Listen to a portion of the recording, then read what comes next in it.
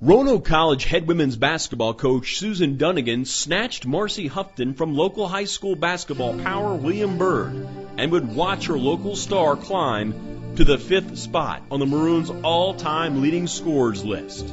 Marcee Hufton, I tell you, she was a complete player. Um, first of all, I, a couple words is she was a competitor. Um, she hated to lose. She would do anything in her power to, to help our team win. Um, she would get on the floor for the loose balls. She she would dog people on defense. Um, she would talk. she'd say things to them on the uh, foul line, try to distract them. She'd do anything. She was ruthless.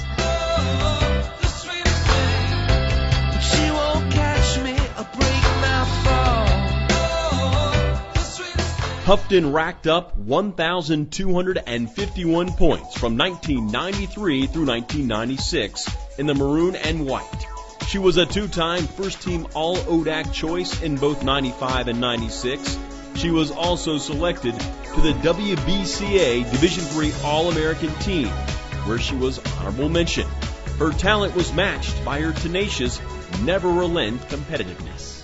If she got mad, um, she may would come into the locker room and and if if she was mad and quiet, then you knew we were in trouble. And Marcee had no problem getting in your face and and telling you what you needed to do to get everybody back on the same page and for us to be successful like we were.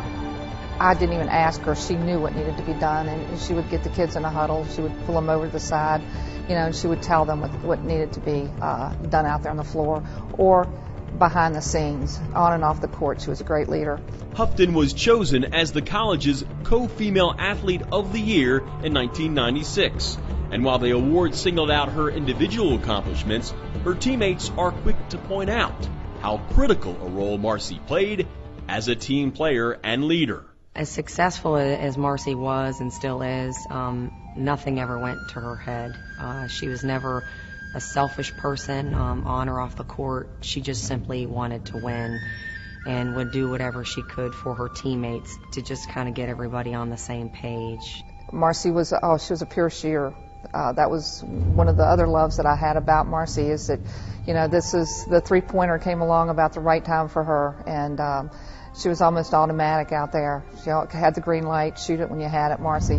Hufton holds the Roanoke College career three pointers made list at 217. She is seventh in steals and fifth in assists. She also started 24 of the 26 games in the inaugural season for Roanoke College softball in 1997.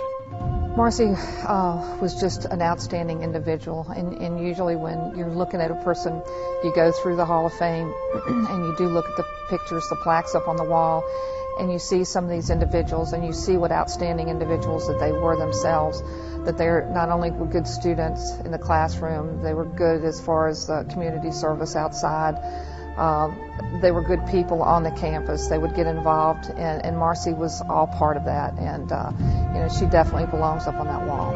Roanoke college is honored to induct marcee hufton cook into the athletic hall of fame